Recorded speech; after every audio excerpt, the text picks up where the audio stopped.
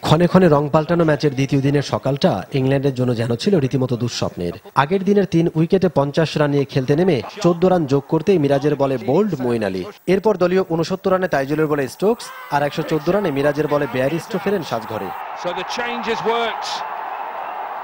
দলীয় একশো চল্লিশ রানে শুভাগতর হাতে ক্যাচ দিয়ে ফেরেন জাফর আনসারি আনসারিকে ফিরিয়ে অভিষেকের পর প্রথম বাংলাদেশি হিসেবে টানা দুই ম্যাচে পাঁচ উইকেট শিকারের রেকর্ড গড়েন Mehedi Hasan Miraj.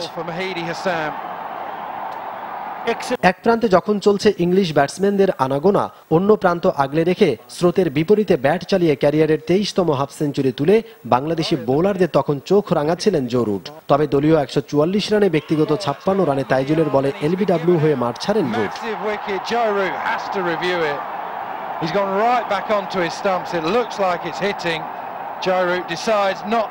He's absolutely livid.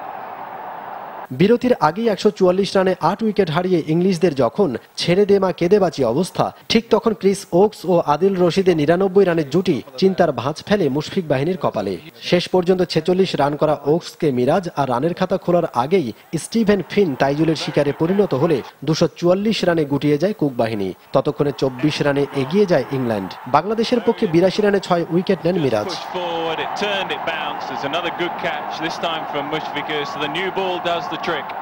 দ্বিতীয় ইনিংসে ব্যাট করতে নেমে শুরুটা ভালোই করে বাংলাদেশ তবে দলীয় পঁয়ষট্টি রানে ব্যক্তিগত চল্লিশ করে আনসারির বলে ফেরেন প্রথম ইনিংসের সেঞ্চুরিয়ান তামিম ইকবাল।